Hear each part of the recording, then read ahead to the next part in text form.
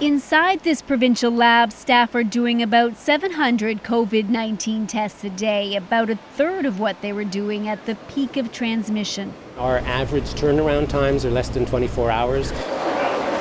But on top of finding out who currently has the virus, they're now testing other tests, those designed to detect COVID 19 antibodies to determine who has already been infected.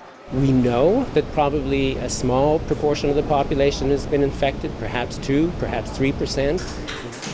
Antibody testing has already been rolled out in several countries, but some tests have given a higher rate of false positives and false negatives.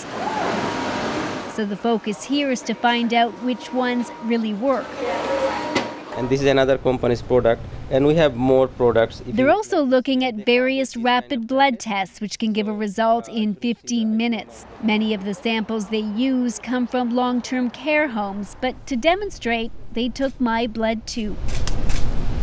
A prick of the finger and then the blood goes on this strip and then you wait.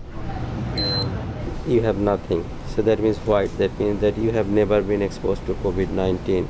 A positive result shows multiple lines. These aren't official results because they don't yet know how well these tests work. They hope to one day use them in remote and rural areas where it's more difficult to send off a blood sample. Summer is coming up, so there might be some tree planters, some blueberry pickers. So there will be a quick access to these things. This isn't the only lab studying antibody tests. Work is also being done in hospitals, including Vancouver St. Paul's. But once they figure out which tests work, there's another looming question. Does a positive result mean you have immunity? That is a million dollar question at this point.